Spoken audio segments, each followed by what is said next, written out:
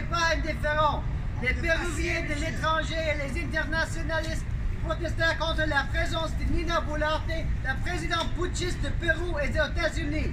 Son gouvernement génocidaire et son congrès corrompu sont responsables de la mort de plus de 70 euh, manifestants morts. Il y a des centaines de prisonniers politiques, parmi lesquels le président Pedro Castillo, qui a été illégalement destitué. Les ouvriers exigeants, fin de la gouvernement putschiste, liberté pour tous les prisonniers politiques, fin de la vente des armes et de la soutien politique des gouvernements des USA et du Canada. Une assemblée constituante par et pour les peuples. Yes. Dina, Dina asesina, el pueblo te repudia. Dina asesina, el pueblo asesina, el pueblo te repudia. Dina asesina, el pueblo te repudia.